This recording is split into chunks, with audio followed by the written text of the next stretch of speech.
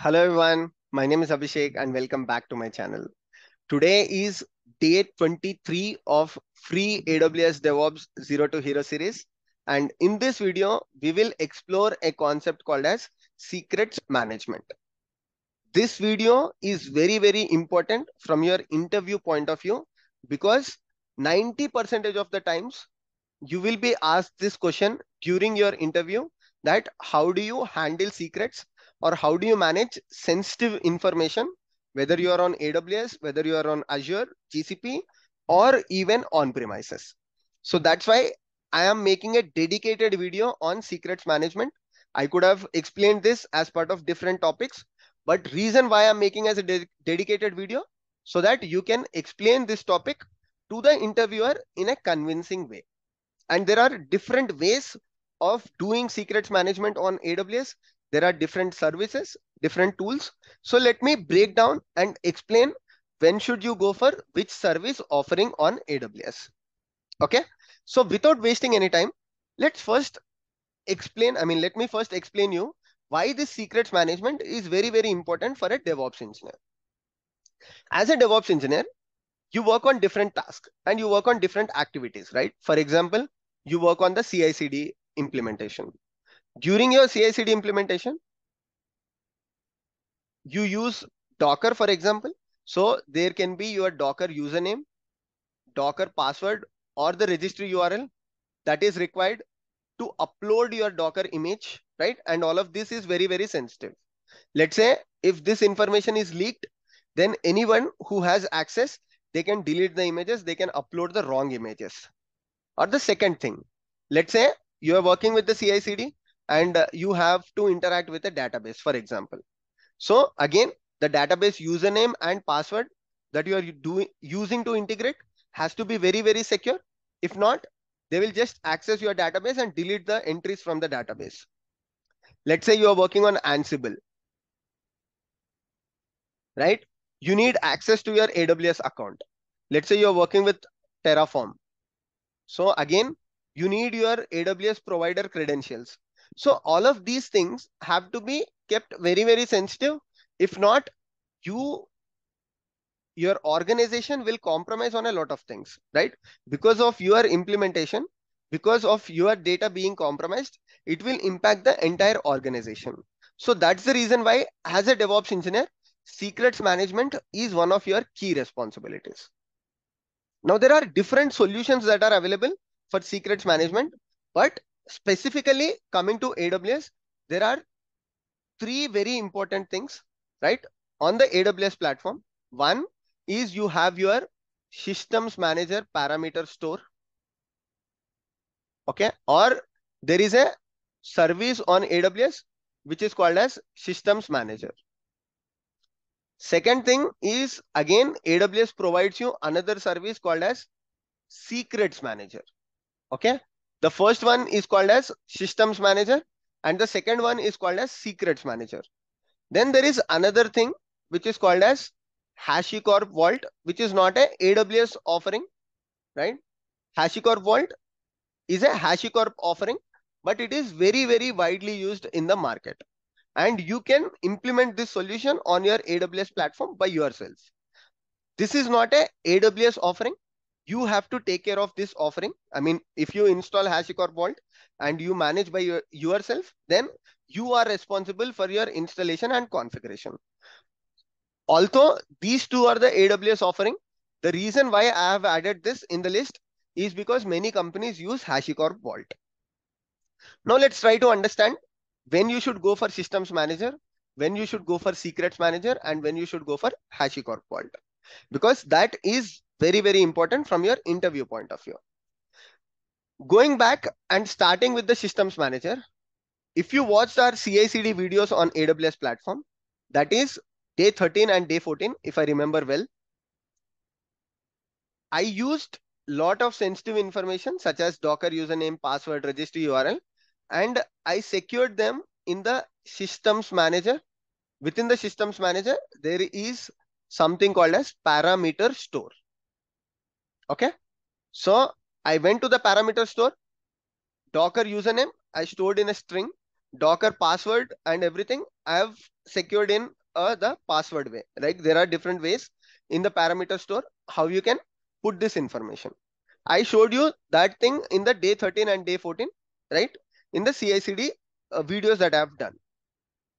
Now, when you can do these things in the parameter store, like when you can store this information and you can very easily retrieve the information from the parameter store, that is the systems manager, then why should you go for the other solutions such as secrets manager or HashiCorp Vault? So let me explain a couple of minutes about systems manager, where if you store any information in the systems manager, it is very, very easy to retrieve, right?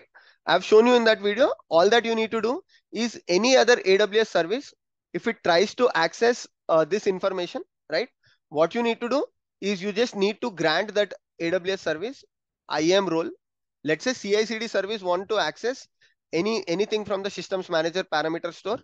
You need to assign the code pipeline or the code build, the IAM role, and using this IAM role, they will access the systems manager, right? So this is very, very simple to integrate and very simple to use as well. Then why should I go for secrets manager? So the thing is that AWS introduced secrets manager because a lot of times when you're working with this sensitive information, you might have to rotate the sensitive information automatically. Okay. What do you mean by rotating the information? Like, let's say you are using a certificate. Okay. As a DevOps engineer, let's say you are using a certificate. And when you are using these certificates, you know, the certificates should be expired in a specific duration. Let's say once in 180 days, your certificate has to be expired and it should be automatically rotated. So even if your certificate is exposed, or even if your certificate is compromised, someone has access to your certificate's public key. Still, if you rotate your certificates in right time, if you rotate your certificates once in 180 days, 270 days, 360 days, you will reduce the chance of, you know, risk. So even if your certificates uh, public key is exposed, because once in 180 days, 90 days, you are rotating and you are changing the certificates automatically. So the chance of risk will reduce. And who is doing this? Systems manager can do this automatically for you. Is it only with respect to certificates? No. Let's say you have password. Okay. And this password is a DB related password. Okay. And you are using this in one of your day-to-day activities. Because database is a very, very sensitive thing, better put it in the secrets manager and ask your secrets manager to rotate this password once in every 90 days. That is once in every three months. Now, what will happen because of this?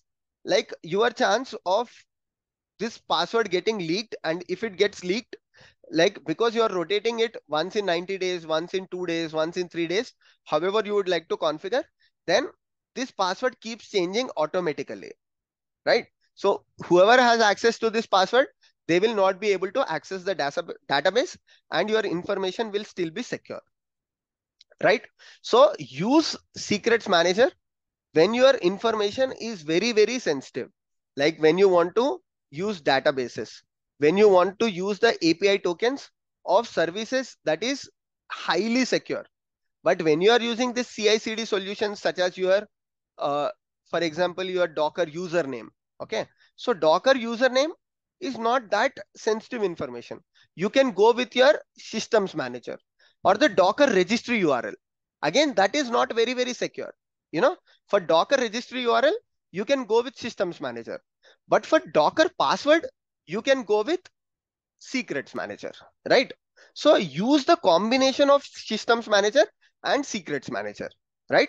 If you have information that is not that much sensitive, still sensitive, but not highly sensitive, go with systems manager parameter store. But if that information is highly secure, then go with secrets manager because using secrets manager, you can do a lot of additional things. That is, you can go with password rotation policy. You know, you can make sure that you add some additional uh, security configurations in the in the secrets manager. But secrets manager is slightly on a higher price when compared to systems manager because AWS is providing you all of these things. So you can use secrets manager, but at the cost of paying high amount to AWS. So that's why always go with a combined solution that is systems manager plus secrets manager. Okay. And retrieve the information from wherever you would like to. If you want to retrieve username and registry URL of Docker from systems manager, yes, assign the right IAM role and do it. And when you want to retrieve Docker password from secrets manager, again, add that IAM role capabilities to talk to the secrets management, right? Let me give you an example because I don't want to, you know, when I'm completing this topic, I want everyone to understand this in a very, very detailed way. So let's say the same example, I'm using CI/CD. I'm implementing a CI/CD solution on the AWS platform for which I'm using AWS code pipeline, for example. Okay. So I'm using this AWS code pipeline and in the AWS code pipeline that I'm writing, you know, I want to publish the images that are created by the CI/CD solution to a Docker image registry. It can be Docker Hub, it can be ECR, anything, right? It, basically, it's a container registry. Instead of saying it as Docker registry, let me call it as container registry. Okay. So for this container registry, definitely there will be a username, there will be password, and then there will be your container registry URL, right? One, two, and three, which are sensitive information. You don't want this information to be exposed to everyone who is using this CI/CD solution. First one is username, second one is password, third one is registry URL. Now let's try to categorize these three things in terms of security level. So username and registry URL are not highly sensitive, right? They are important, but they are not highly sensitive. If your username is exposed, still without password, they will not be able to use uh, this you know, they will not be able to uh, manipulate your Docker images. So username and registry URL, you can secure them in the systems manager parameter store. Whereas in the same example, you have something called as Docker password or your container uh, registry password, which you can store in the secrets manager.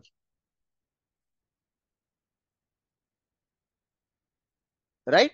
So that way what you are doing, you are trying to use two solutions effectively, and you are also keeping the cost, cost optimization in your mind. What happens if you store everything in the secrets manager? AWS will charge you slightly higher. For that purpose, you can use the systems manager and you can reduce the cost. Now you might be thinking, Abhishek, what will happen with one username, one password? I can store it anywhere. But when you are working in organization, the number of usernames, the number of passwords will keep on increasing. Okay. And the number of secure things that you are doing in your secrets manager will become very difficult to manage as well. Because systems manager provides you multiple things such as rotation, right? There are different services that are offered by secrets manager. For example, let's say you are using a DB service. Okay, so secrets manager, what it can do is it can integrate with Lambda functions and it can ask you to write your custom secrets rotation policy. Okay, you can integrate it with your custom Lambda function logic as well. Right. So because of these reasons, during your interview, you can say that I use a combination of both systems manager and secrets manager. Whenever it is required to use systems manager, I'll go with it. And whenever I require secrets manager, I'll go with the other option. Now, you might be asking that Abhishek, okay, I understood about these things. Now, why should I go for HashiCorp Vault? Okay, when AWS itself offers these two things for me, then why should I go for another offering that is HashiCorp Vault? So some of you who is following this series might be able to answer this by now that whenever you are using a AWS managed offering, right? You will be tied to AWS platform. Let's say your organization is using hybrid cloud. That means combination of different clouds or multi-cloud. Or your organization has plans to move from AWS to Azure. Then these things become a bottleneck for you. Okay. So these things will become, you know, your headache of how to migrate these secrets again from AWS Systems Manager to some other cloud providers, different solution that they are offering. Now, instead, if your organization is using HashiCorp Vault, right, which is a centralized solution, you can use it with AWS, you can use it with Azure, or you can use it with any other cloud platform. Is this the only advantage? No. HashiCorp Vault is a very dedicated secrets management solution that is available for years right now. And it's an open source platform. That means not just HashiCorp, but it is a community driven project as well. Now, because of this, what happens is that the Vault offering has a lot of community backup and there are so many features, right? There are many additional features. There are many uh, additional uh, encryption strategies that HashiCorp Vault offers over the AWS managed offerings. And because this is a community driven project, there will be many additional features that keep on adding, right? So that's another advantage of using HashiCorp Vault. And let's say in your organization, if you are using multi-cloud, during your interviews, go with HashiCorp Vault. Okay. Or if the interviewer asks you, when did you migrate to AWS and what were you using before that? Then probably you can say, before migrating to AWS, we are using HashiCorp Vault. We were using HashiCorp Vault, right? So I hope this difference is very clear to you and uh, try to answer this, like take a note of it, write down these things and be ready for your interview. When interviewer is asking about this secrets management, don't be blank, be ready with your answer and tell them according to your organizational requirement. Okay. So I hope you enjoyed this video. If you have any feedback, let me know in the comment section and do share this video with your friends and colleagues. Thank you so much. See you all in the next video. Take care.